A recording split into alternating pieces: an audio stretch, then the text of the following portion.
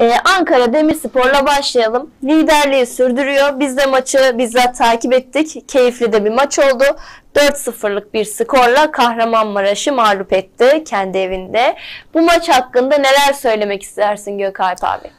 Ee, maç içerisinde, maç sonrasında da konuşurken e, hep ortak şey şuydu. Goller çok doğru zamanda geldi.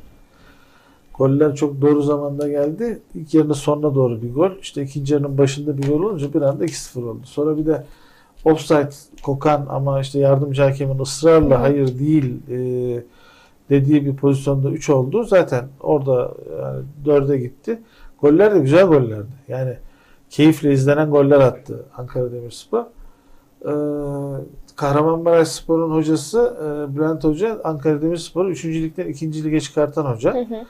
Orada işte e, Serdar e, Akkuş e, sport menajer, sportif direktör onda falan ben sahaya girdiğimde işte hem e, Bülent Hoca ile merhabalaştık. Volkan Hoca, e, Bakspor'un eski yardımcı hocası Volkan Arat Hoca.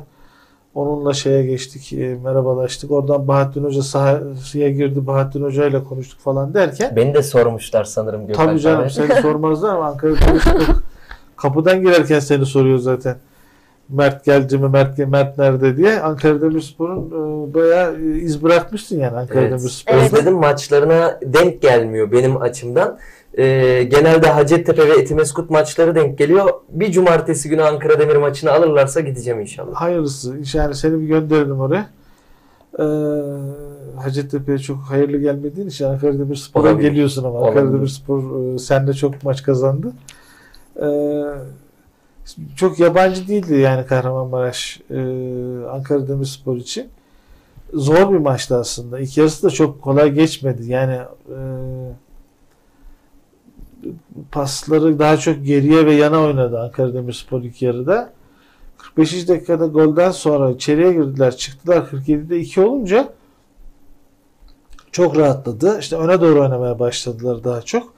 İkinci yarı oyunu beğendim. Sol bekleri 20 numara ismini bile almadım. Yani hakkını helal etsin. Notunu aldım, ismini almadım. Ee, çok aktif bir futbol oynadı. Çok beğendim ben. Tebrik ediyorum kendisini. Bahattin Hoca'yı tebrik ediyorum. Zor maçı kolaya çevirdi. Yani hava gerçekten soğuktu. Bir de yani gittikçe soğuyan bir hava vardı. Evet. Böyle bir maçın öncesinde bir güneş çıktı ama sonra işte hava kapattı, şey oldu, kar yağmaya başladı, rüzgar arttı falan. Ee, Ankara Demirsporlu futbolcular saha içerisinde gerçekten ellerinden geleni ardlarına koymadılar. Yani çok aktif bir oyun vardı sahada. Hı hı. Ee, çok güzel goller atıldı. Yani e, Tahir'in gene e, defans arkasına mı kaçtı? Yok bu, bu biraz tiki taka golleri falan da vardı bu sefer. Yani dördüncü gol müydü? Tiki taka böyle paslaşmalarla evet. atılan Serdar Eyley'in attı. Serdar'ın üçüncü gol üçüncü gol galiba. Son gol Serdar. Son gol Serdar değil Hı-hı. mi? Serdar Eyley'in attığı bir tiki taka golü var. Yani Barcelona gibi böyle tak tak tak tak tak girdiler içeriye. Dokunuşu Serdar yaptı falan. Çok güzel bir goldü. Zaten ilk dakikalardan itibaren bir e, rakibe e, tehlike yaratılmıştı yani. Rakibi Ataklar söz yani, konusuydu yani. yani. Gole kadar öyle bir durum vardı. Yani ilk tehlikeli atan 2 3 2 veya 3. dakikada yaptı Ankara Demirspor şeyin de birin ilk yarıdaki tehlikeli atağı diye tabir edeceğimiz atak 30 küsürüncü dakikadaydı. Yani ilk yarıdaki tek pozisyonu da oydu e, Kahramanmaraş Spor'un.